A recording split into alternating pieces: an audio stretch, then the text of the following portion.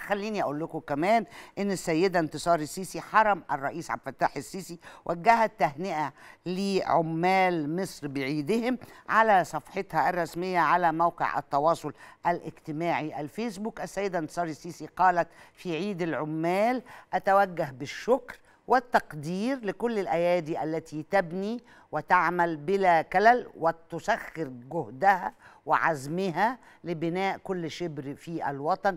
شكرا لكم وكل عام وأنتم بخير. كل عام ومصر بخير. كل عام وعمال مصر بخير.